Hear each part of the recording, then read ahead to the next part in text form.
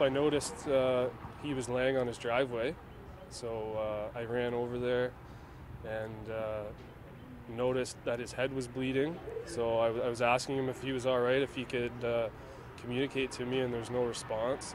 So that's when I ran over and got uh, Chris to come out. I assumed that he had had a heart attack.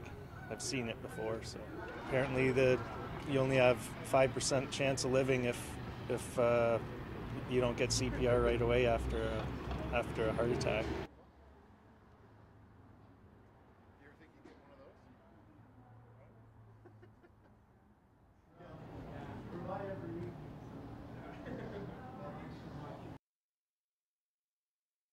What did you tell them?